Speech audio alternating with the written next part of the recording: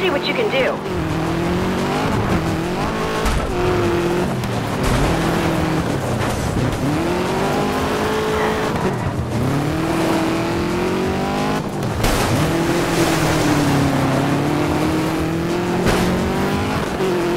Watch out!